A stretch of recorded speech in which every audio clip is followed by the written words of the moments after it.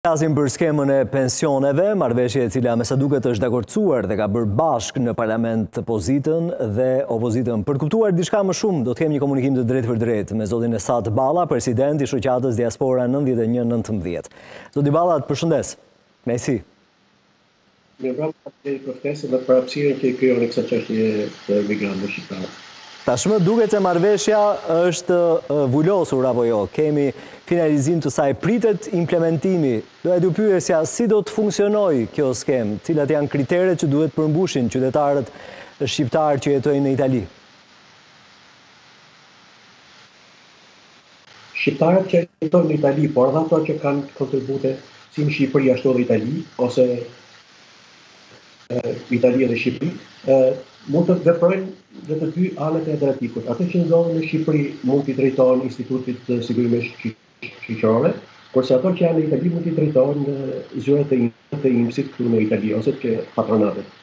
Ta bëjnë kërkesën në gjuhën që dëshirojnë ata, Edhe automatikisht të dy institutet bashkëpunojnë me njëri me njëri tjetrin edhe procedura niset automatikisht pa pa probleme.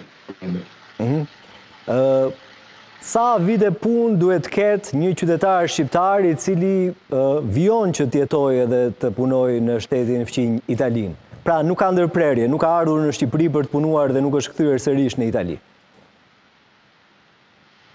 Atëherë, marrëveshja e pensioneve nuk vendos, i heq pengesat që ishin deri dje, të kesh vite pune këtu apo vite atje me të ndërprera të pandërprera. Kjo marrëveshje bën pikërisht këtë, i mbledh vitet e punës që një person mund të ketë në Itali, në Shqipëri edhe anasjelltas.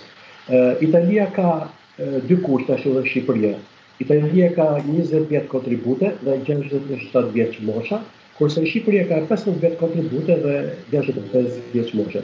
Një person shqiptar apo italian i cili plotëson këto të dy kushtet, por nuk i ka vjetësinë e punës në Itali ose Shqipëri, hyrjen në fuqi të marrëveshjes i mblidhen Lidhen këto dy vjetësi dhe kalon një limit i pesëmbëdhjetë vjet apo njëzet vjet në vjet me Shqipëri apo në Itali.